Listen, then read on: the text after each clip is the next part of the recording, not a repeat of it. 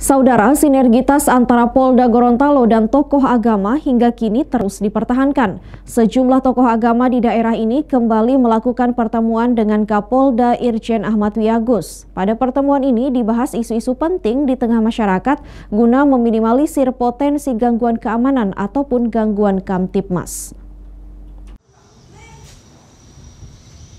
Sejumlah perwakilan tokoh agama di Gorontalo melakukan pertemuan dengan Kapolda Irjen Ahmad Wiagus di Mapolda pada Selasa 29 Maret 2022.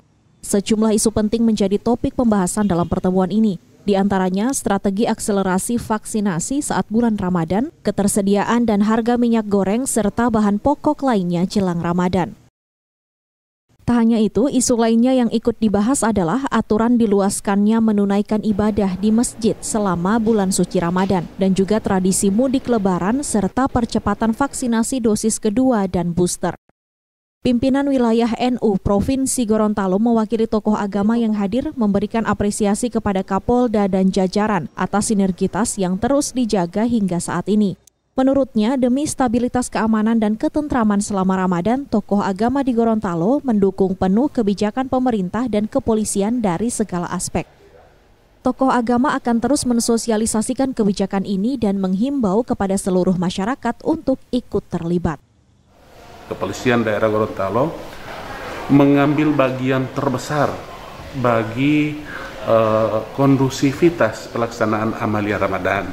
Kita ketahui bahwa Eh, saat ini tahun ini kita dibukakan pintu untuk melaksanakan ibadah di masjid dengan sebaik-baiknya. Tentunya ini juga uh, kepada masyarakat juga kita berharap bahwa dengan kondisi ini maka marilah kita tetap uh, patuh pada aturan-aturan yang uh, disyaratkan oleh pemerintah. Ya.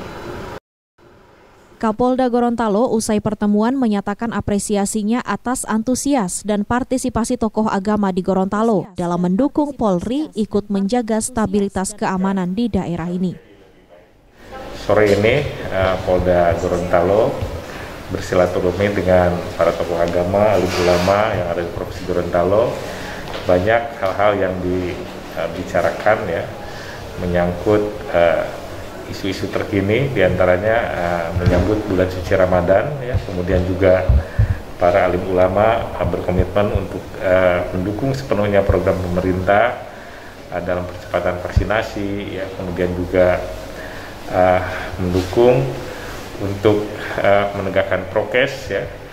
Termasuk uh, kebijakan pemerintah uh, menjelang mudik lebaran dan uh, kami juga sangat bersyukur para alim ulama mendukung sepenuhnya sekali lagi bahkan juga para alim ulama juga akan uh, ikut uh,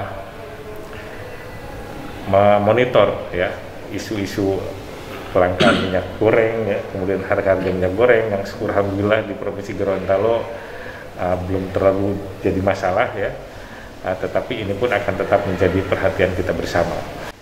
Kapolda Irjen Ahmad Wiagus menjamin selama bulan suci Ramadan dan Idul Fitri bisa berjalan aman dan lancar, sehingga umat Islam bisa melaksanakan ibadah dengan baik. Pertemuan ini pun turut dihadiri oleh Direktur Intel Kampolda Gorontalo, Kombes Henry Hotuguan Siregar.